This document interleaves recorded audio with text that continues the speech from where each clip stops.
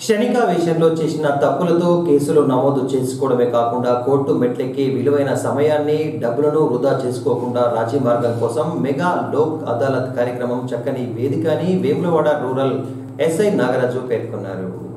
Vemulawada rural మండల పరిధి ప్రజలందరికీ తెలియజేయడం ఏమనగా ఈ నెల ఇరవై ఆరు తారీఖు వరకు మన వేములవాడ కోర్టులో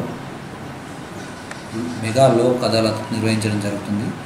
దీనిలో ఇంతకుముందు క్షణికావేశంలో కొట్టుకోవడం ఇలాంటి కేసులు నమోదై ఉంటే వాళ్ళందరూ రాజీ పడదలుచుకుంటే కోర్టులో పోలీస్ స్టేషన్కి వచ్చి వాళ్ళ ఆధార్ కార్డులు తీసుకొని పోలీస్ స్టేషన్కి వచ్చినట్లయితే ఆ కేసులు పూర్తిగా క్లోజ్ చేయబడతాయి. ఇట్టి అవకాశాన్ని ప్రజలందరూ సద్వినియోగం చేసుకొని మాకు సహకరించగలరు.